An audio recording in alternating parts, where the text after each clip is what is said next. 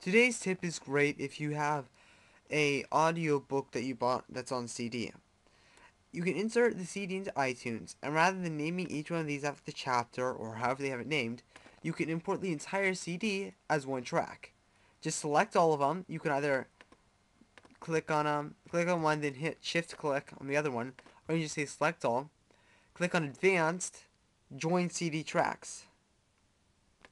Now this will make there be only one checkbox, and it'll be this little bracket right here. Once you done once you once you've done this, you can import the full CD, and it will only bring in the one CD as track one.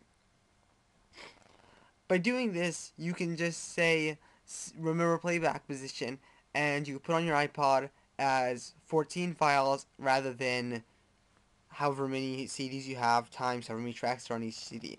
So Try it out.